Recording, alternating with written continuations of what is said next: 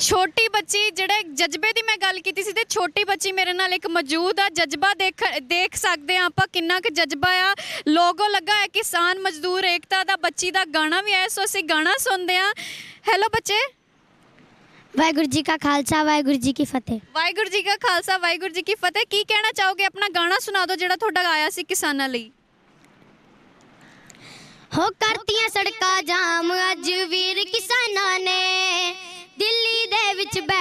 ਤਲੀ ਤੇ ਤਰ ਕੇ ਜਾਨਾਂ ਨੇ। ਕਰਤੀਆਂ ਸੜਕਾਂ ਜਾਮ ਅੱਜ ਵੀਰ ਕਿਸਾਨਾਂ ਨੇ। ਦਿੱਲੀ ਦੇ ਵਿੱਚ ਬਹਿ ਕੇ ਤਲੀ ਤੇ ਤਰ ਕੇ ਜਾਨਾਂ ਨੇ। ਆਮ ਲੋਕ ਕੀ ਹੁੰਦੇ ਤੈਨੂੰ ਅਸੀਂ ਦਿਖਾਵਾਂਗੇ। ਆਮ ਲੋਕ ਕੀ ਹੁੰਦੇ ਤੈਨੂੰ ਅਸੀਂ ਦਿਖਾਵਾਂਗੇ। ਆਪਣਾ ਹੱਕ ਦਿੱਲੀ ਤੋਂ ਲੈ ਕੇ ਵਾਪਸ ਜਾਵਾਂਗੇ। ਆਪਣਾ ਹੱਕ ਦਿੱਲੀ ਤੋਂ ਲੈ ਕੇ ਵਾਪਸ ਜਾ